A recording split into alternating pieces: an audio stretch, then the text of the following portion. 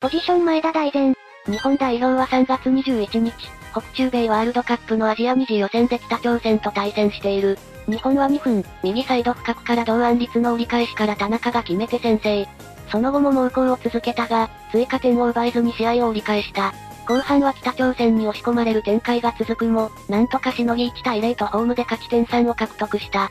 この試合特に輝いたのが前田大然だ。圧倒的な総力でフル出場、総力を活かし縦横無尽に移動。常に危険なエリアに顔を出すだけでなく、抜け出して、クロスも何度も供給。特に光ったのが守備への意識だろう。何度も北朝鮮ボールになりそうな展開も前田大然がカットし、大きく貢献。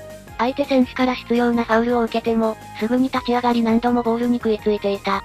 この前田の活躍に X 上では、大前エグすぎる、走りすぎて怖い、マジの総力お化け、怪物すぎ、どんだけ助かるんだよ、足早すぎな、ポジション前田大前再び、森保もようやくフルで使ったぞ、など多くのポジティブの声が上がっていた。日本のワールドカップ出場に前田大前は欠かせない。前半から異次元すぎるんだよね。どんだけ走るんだよ。短距離速い奴はガス欠するのが普通だよね。なんでここまで走れるんだ？この男が本当に日本サイドでよかったわ。北朝鮮にいたら恐ろしかった。さすが、娘のリクエストに応える男、見てるファンの期待にも応える。前田大然を前半かっ飛ばさせて、後半15分から三笘でとどめ。あと4年はこれで左サイドは OK だわ。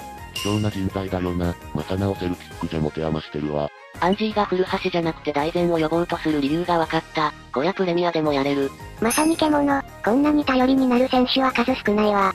ガチでスタービで見たいですこちらは世界のフットボール2チャンネルです。あなたの持っているサッカー知識をぜひコメントにぶつけてコメント欄を盛り上げてほしいです。他にも面白い情報を最新で知りたい方は、ぜひチャンネル登録よろしくお願いします。